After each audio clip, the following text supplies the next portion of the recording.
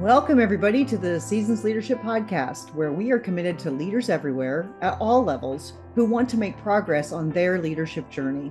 We will bring you actionable advice to improve your leadership and life today.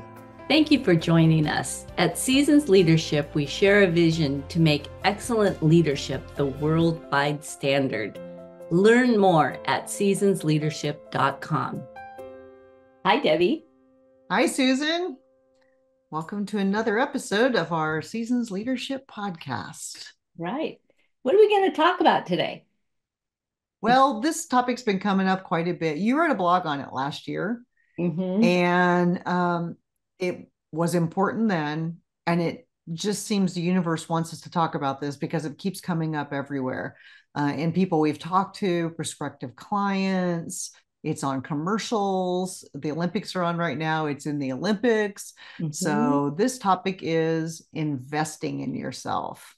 I know this is one, it is close to my heart. And I think one of the most frustrating topics or situations that I come across over and over and over again. Say more about that.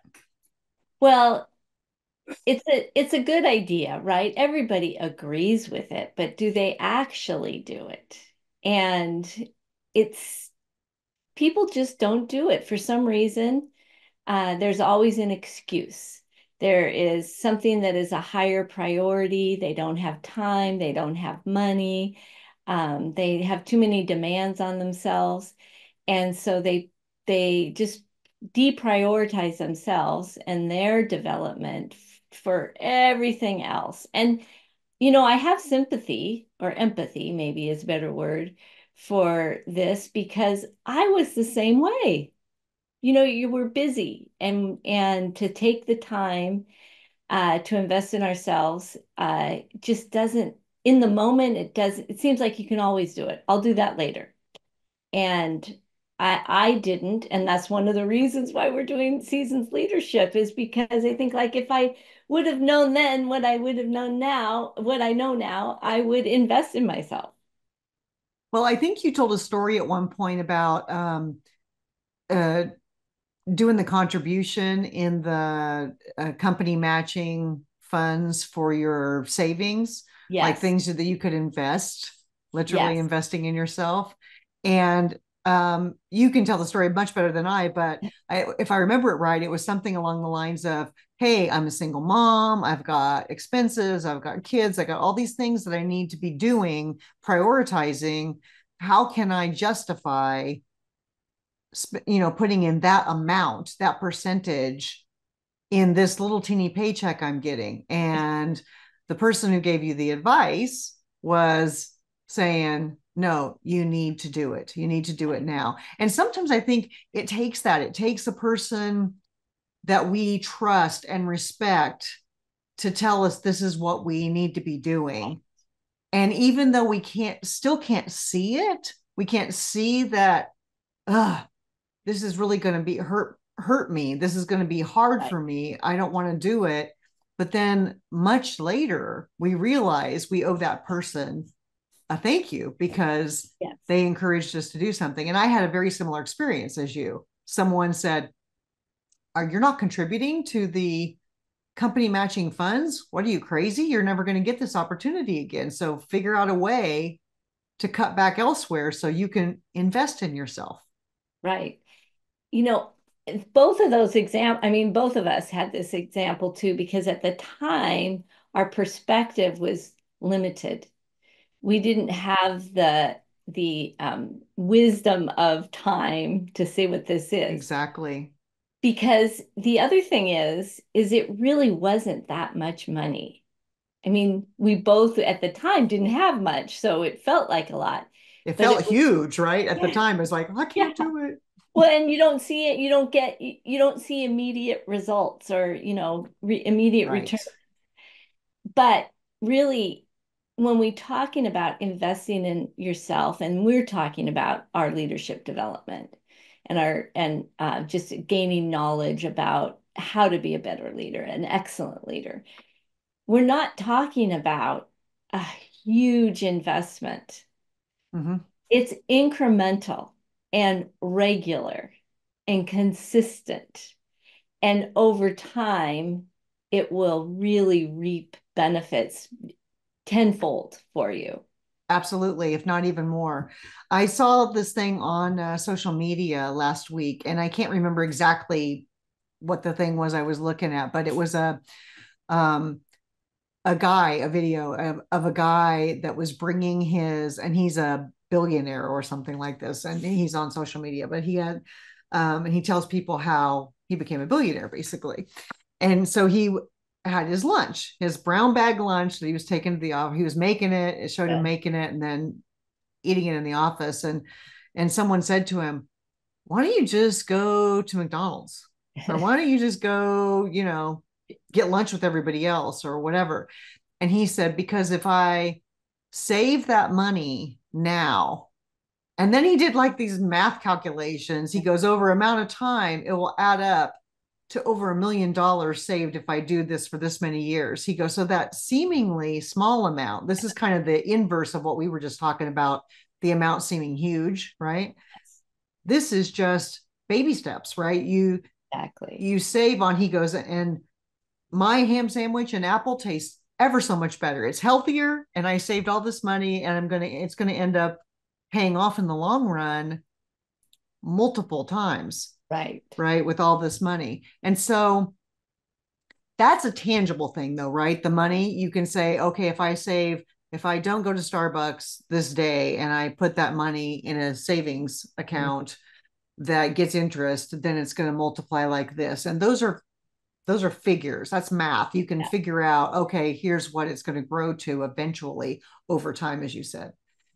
It's not such a clear picture when you're investing in yourself in growth, when mm-hmm. you're saying, okay, I want to invest in myself so I can be uh, better at communicating, or I can be better with time management, or I can be better with my people skills, or whatever it is. It's not so easy to see that return on investment, even over the long term, until you're there right. and you need it. Right. And that's why you've got to depend on am I doing things towards where I want to be or who I want to be in the right. future? Right. Right. Right. And it's been our observation that the most successful people and leaders, and successful is defined by them. It could yeah, be absolutely money, money, position, but it also could be the their dream job that they have. It could be where they're located. You know, there's success is defined by the person. But the most successful people are the ones who have invested in themselves. Yeah, absolutely. That's so true. Well, let's let's look at I know you're not big into athletics, but let's look at athletes for a minute because the the Olympics are on right now, right? Um, there's all kinds of stories as often come out around the the competitors in the Olympics. And um, one story was talking about um, this one competitor thought that her Olympic dreams were over because she found out that she had a very, not one, but two uh, very rare diseases. And she found out when she wasn't in the Olympic trials or anything and and she was like oh my dreams are over. I'm not going to get back there for the next time. And then she had to invest in herself make some hard decisions about what she was going to focus on. And long story short she eventually got back there and now she's competing in this olympics in 2024 amazing story right? Mm-hmm. but she invested in herself. Let's t- let's talk about um, other athletes that aren't even facing those those kind of odds where they have some horrible disease diagnosed. Just the day to day okay i can i've got family i've got kids but this is my dream to go to the olympics. Where am i going? How am i going to invest in myself so that i can actually realize that dream and get there?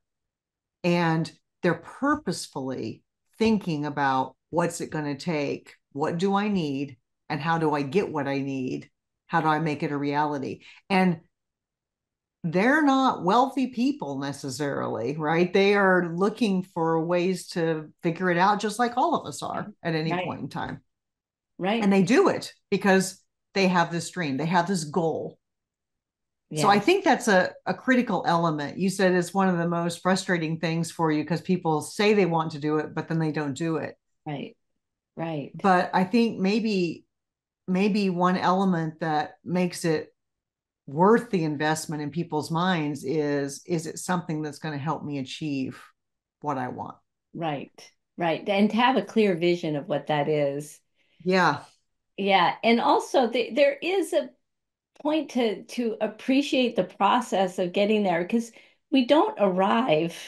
We don't just then say, okay, I've done, I've taken all the classes or I have all the degrees and now I'm I'm here. It's I've reached a, a certain level. Yeah. it's a continual process. Um, and but it is appreciating yourself and and knowing that just like anything that we value, we take time, right? We take time and it doesn't have to be a lot of time, but it does have to be consistent. Yeah. And it has to be purposeful.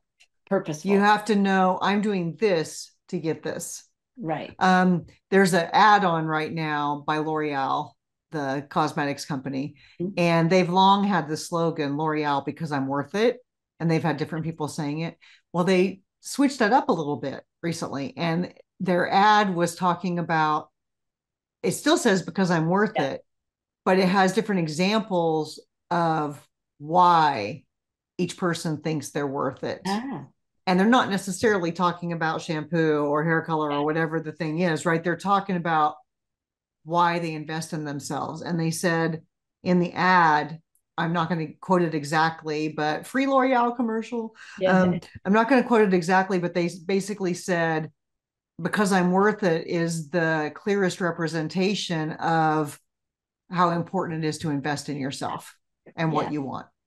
It's true. It is true. And and we at Seasons Leadership think you listeners are worth it.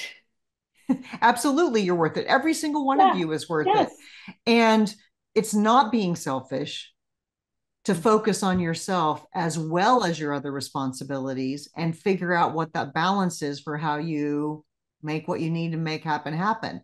It doesn't require always you to be the one who sacrifices, right? You can make happen what you need to happen, but as you said, Susan, you got to be purposeful about it. Yeah. You got to be dedicated to it and you got to consistently work towards it. It's true.